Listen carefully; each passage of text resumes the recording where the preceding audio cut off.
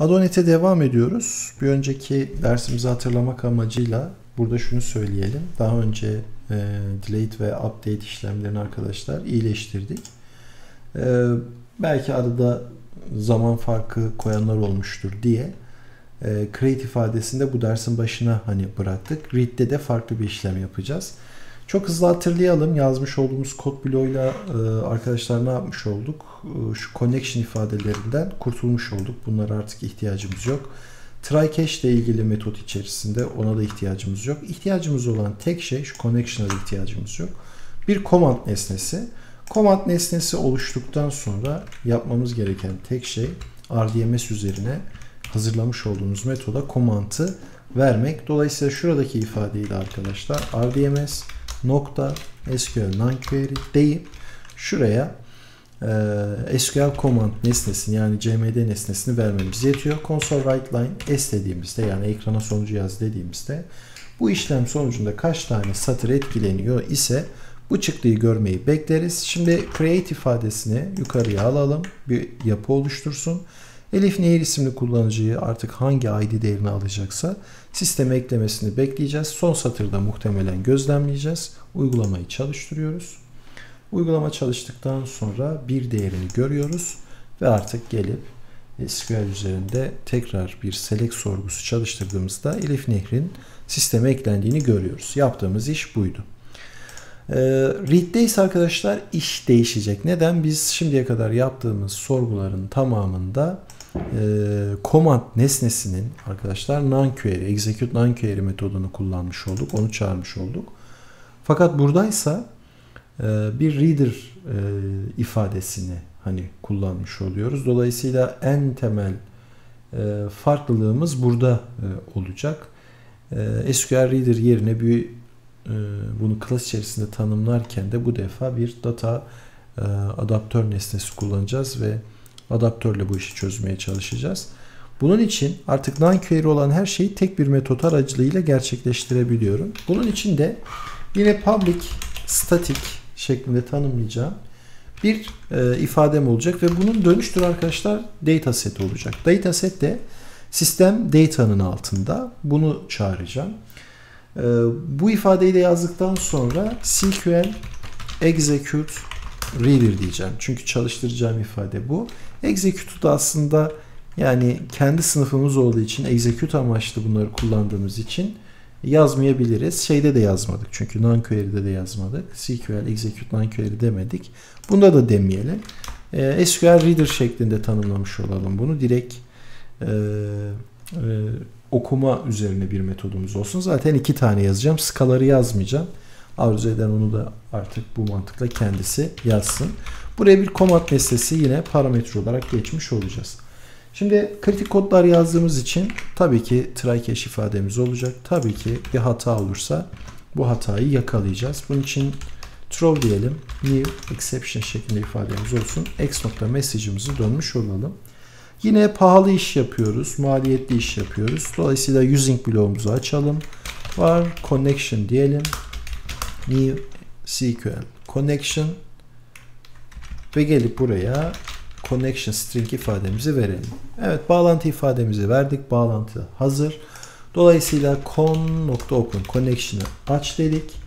Connection açtıktan sonra gelen command nesnesi bakın bu nesne her defa dışarı, e, her defasında dışarıdan set edilmesin diye e, bunun da connection ifadesini con ile e, arkadaşlar set etmiş oluyoruz, ayarlamış oluyoruz. Şimdi bir adaptör nesnesine ihtiyacım var. SQL Data Adapter. Bu şekilde yazacağım bunu ve adaptör nesnemi de oluşturmuş olacağım. Adaptör nesnesi constructor boş e, olan şekilde var ama bana commandlı bir ifade lazım. Bakın SQL command aldığı bir e, constructor var. Bu constructor'ı veriyorum. Dolayısıyla bunun içerisinde bağlantı bilgisi de var. Hani bağlantıyı açtım. Connection ifadelerim tamam. Command'ımı oluşturdum. O zaten parametre olarak geldi. Command'ın connection'ı set ettim. Ee, SQL üzerinde koşacak sorgum cümlem belli. Ee, bağlantı ifadem belli. Ne kalıyor arkadaşlar geriye? Sonucu almak kalıyor. Bunu da bir data set olarak alabiliriz. Hatta şöyle yazalım. Var ds diyelim. New data set. Bu da sistem data'nın altında. Ee, SQL ile ilgili konuşurken yani bu nesnelerin olduğunu e, beyan etmiştik.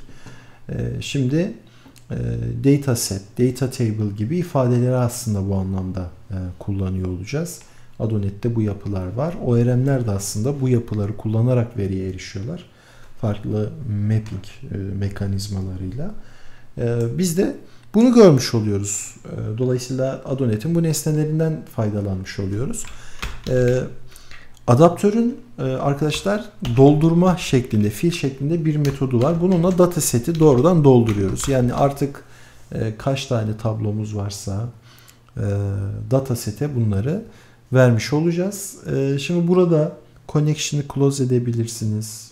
Connection'ı dispose edebilirsiniz. Yine e, adaptör nesnesi için, command nesnesi için bunları gerçekleştirebilirsiniz. Fakat iDisposable bakın bu, bu burası iDisposable'ı destekliyor. Dolayısıyla bu komut satırı bittiğinde zaten bu alanlar ser, serbest olacağı için tekrar bunu yapmaya ihtiyaç duymuyorum. Return deyip datasetimi dönüyorum. Bunu döndüğüm zaman artık eğer bir hatam varsa o hatayı görmüş olacağım. Hatam yok ise arkadaşlar veri okuma işlemini doğrudan gerçekleştirebileceğim. Evet şimdi read ifadesi içerisindeyiz. Burayı e, iyileştirmeye çalışacağız.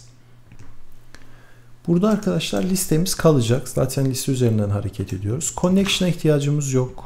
E, bu gitti.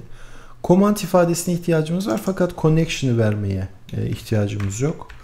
Bu ifadeyi de e, kaldırmış olacağız.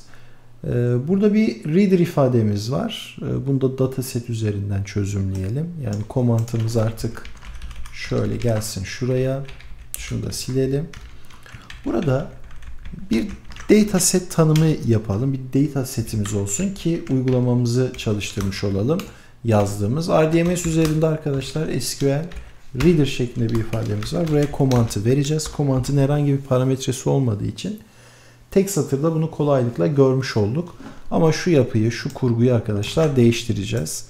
Burada bir for each ifadesi kullanacağım. For each diyeceğim.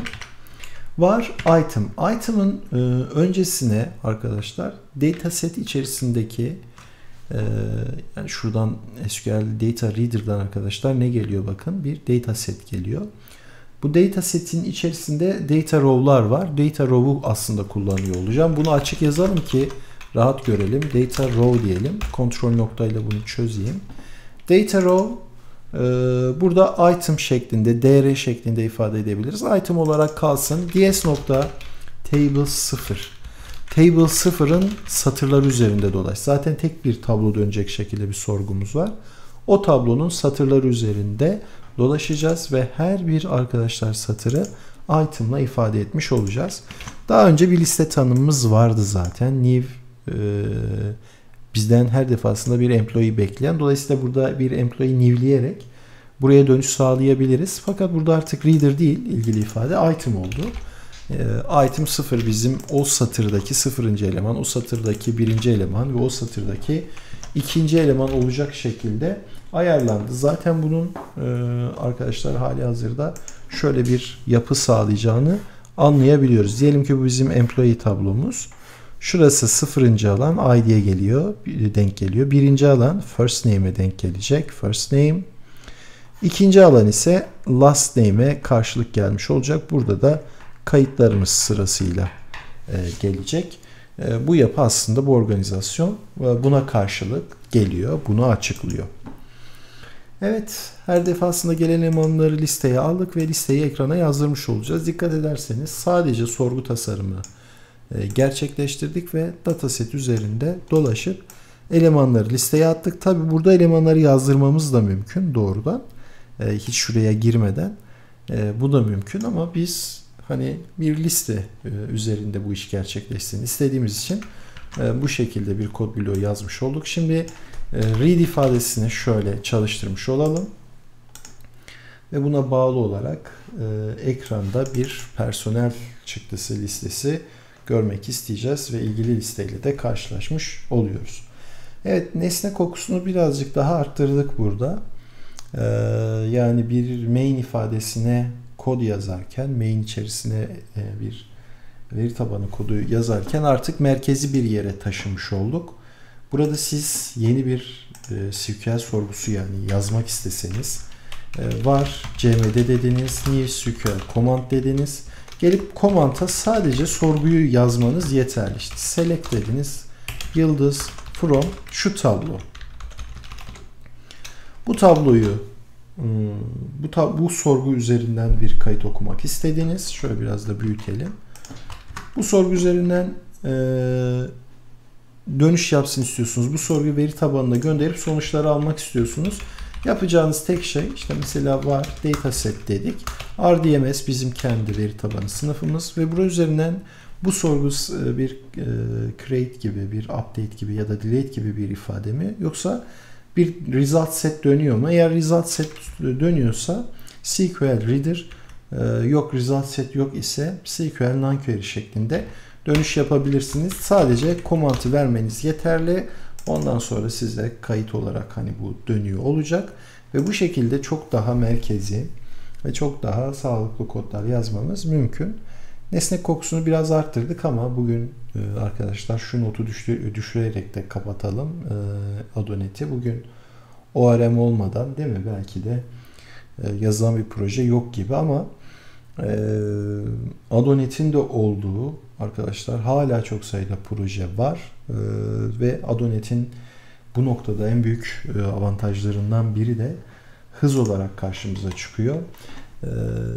Adonet bir ORM değil yani bir Object Relational Mapping e, teknolojisi değil. Veriye tabi birazcık daha ilkel yöntemlerle e, erişmiş oluyoruz. Fakat hala e, tek nesneye yönelik API'larda arkadaşlar yönetilen kod yapısında yine XML desteği olan uygulamalarda görsel veri bileşenlerinde e, hala kullanılıyor e, arkadaşlar. E, en büyük avantajı da ee, sürekli veri tabanına bağlı değilsiniz. E, işinizi yapıyorsunuz, bağlanıyorsunuz. Komantınızı artık komutunuz neyse çalıştırıyorsunuz ve çıkıyorsunuz. E, bu anlamda da e, oldukça hızlı olduğunu söyleyebiliriz. E, Adonet'i burada noktalıyoruz. Tabii ki çok daha fazla açılabilir, çok daha detaylandırılabilir. Ama bizim için bu kadarı kafi arkadaşlar. Yeni bir e, bölümle derslerimize devam ediyor olacağız.